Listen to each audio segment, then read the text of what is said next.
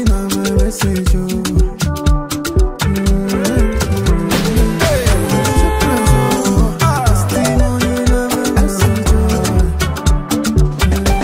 Oh. My brother make you come and see.